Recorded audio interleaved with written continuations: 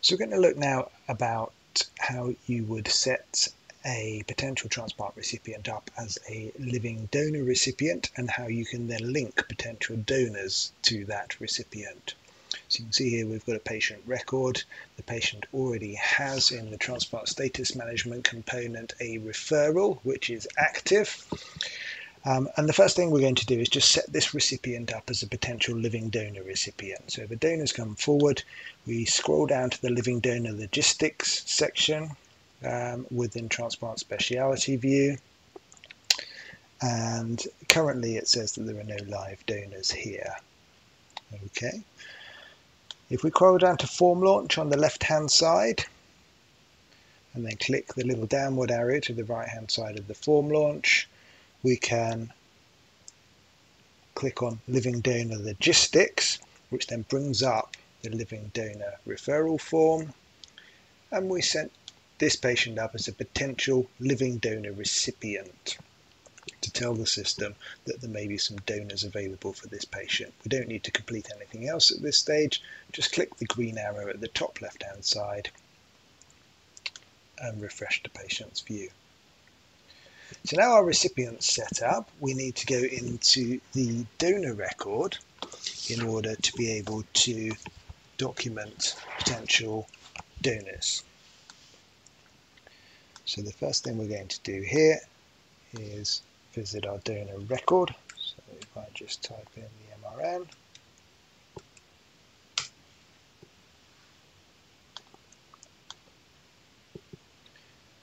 Okay, so we're going to set this dummy patient up as a potential donor. So again, we're going to the transplant speciality view.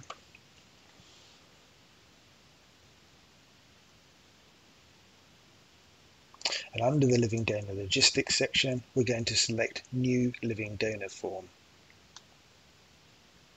Once we've pulled this up, we can click to now select this patient as a potential donor rather than a recipient and that will pull up the form that allows us to enter all the donor details. So we can put in the referral rate.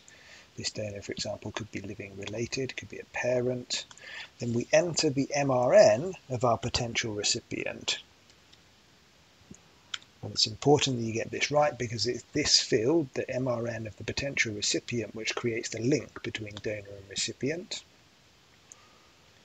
Add some more information about compatibility um, the process that the patient is in, and then click to return to the original form, and then the green arrow saves it.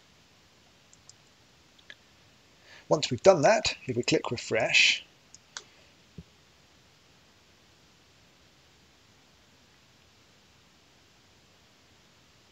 we should hopefully now see under the living donor logistics section for our donor that we now have a relationship created between our donor and the recipient that we set up earlier on. And you can see that this is the potential recipient details, all the information we've just put in our form appears here. The tissue typing data here can be added by the tissue typing laboratory later on, um, and we'll show the mismatch and the cross-match results for that donor and that recipient.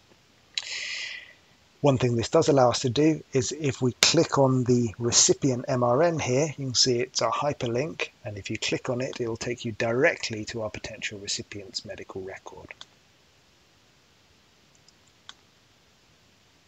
Again, in the transplant speciality view for the recipient,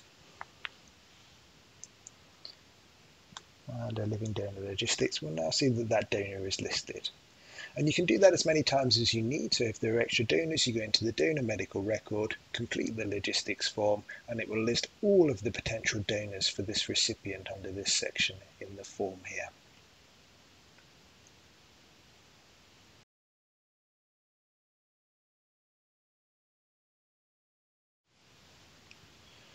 Once the link between donor and recipient has been created, we can now start to document the workup process for our potential donor as we work our way through the workup process, we can edit that transplant logistic form that we created in the last step. Um, and if we click through living donor logistics, as the patient makes their way through the workup phase, for example, the next step would be medical and surgical assessment, we can update this form Um, and if they're on hold or in the paired exchange, we can document that. And if they become unsuitable, we can also document that on this form. Eventually, when a donor has been improved, approved to donate, we can enter the date in here. And as we work our way through that information, this will update the status for both the donor and recipient in the living donor logistics so you can see at a glance what stage each of your donors is at. So now we're at the medical and surgical assessment phase. The next thing that happens to a potential donor is they will come to a medical and surgical assessment clinic um, and we can document the uh, clinic attendance in the donor assessment power form. To get to that, we go to Form Launch on the left hand side, click the downward arrow, and under here you will see a form called Living Donor Assessment or Live Donor Assessment. We click on this, we get here a, a, complex power form with a number of different tabs on the left hand side which allow us to document the donor's medical history and all of the referral details. And this is designed to be used by all members of the MDT, including the nephrologist and the surgeon. So there's one form and various people can come in and enter uh, this this form.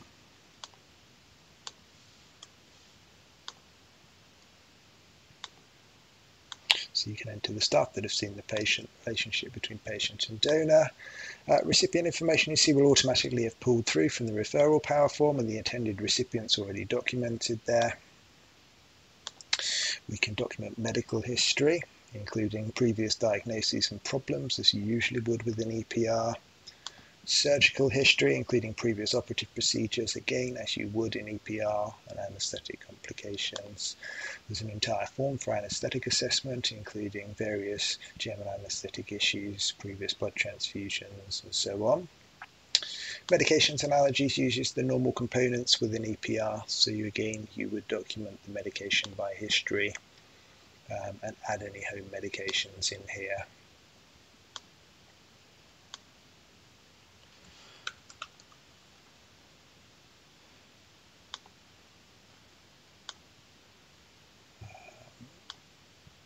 The same goes with allergies. There are known medication allergies, you can document that.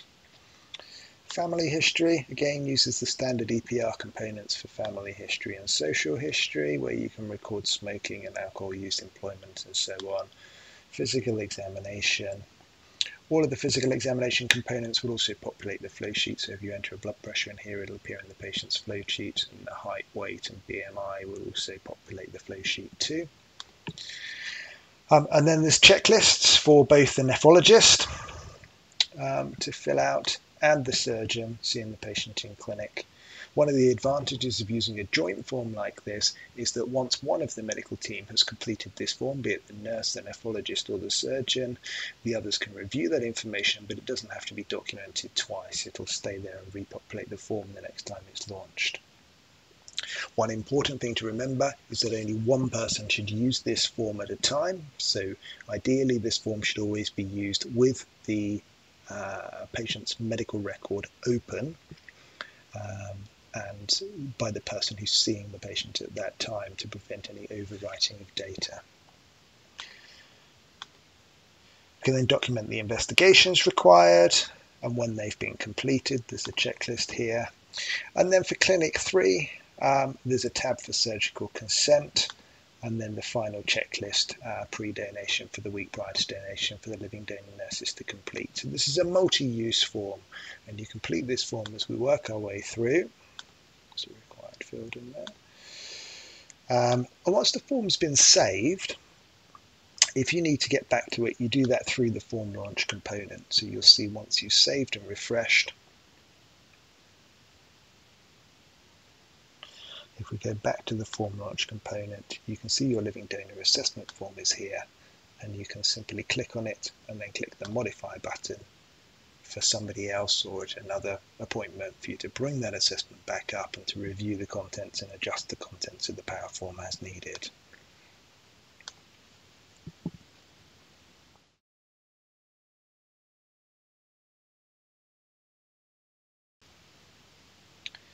Once a patient's been through their medical and surgical assessments, um, the next thing they may do is either go to the AIT or the Living Donor X-ray MDTs, and the outcomes of both of those MDTs have power forms to record them. So again, in the form launch component in your donor medical record, you can select your AIT MDT. That will pull up a power form. It'll tell you how many previous meetings they've been to, what the date of the meeting is. You can document who is at the meeting.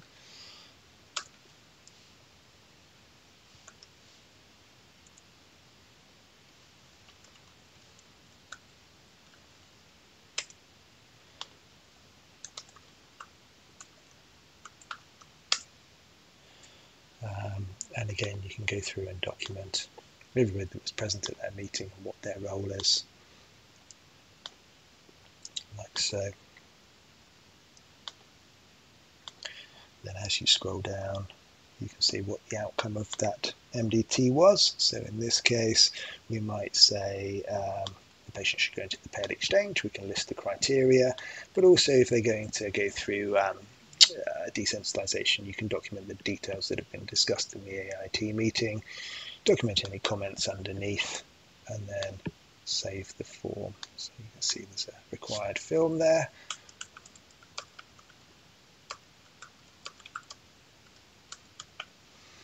Um, so if I document that, click Save again. Once we've done that, the form will appear in the form launch component and you can go back and review that form whenever you like if you want to see the contents of that form. These forms are designed as such you would make a new form for each MDT meeting the patients discuss that. The same goes with the living donor sign-off MDT, so the X-ray MDT,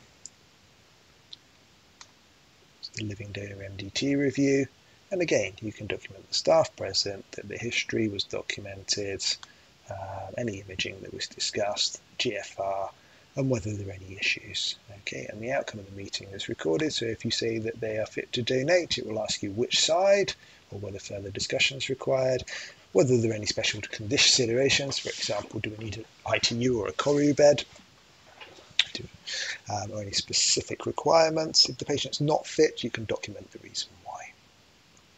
Um, and again, once that form is saved,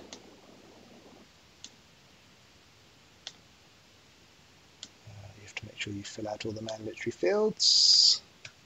Once that form's saved, it'll appear in the patient's form browser and you can review that at any point. All of these forms will also appear under PowerNote view as you're used to seeing documents. You can see all those forms that we've just completed appear in the patient's medical flow with a summary um, easily visible here and you can get back into the original form just by double clicking.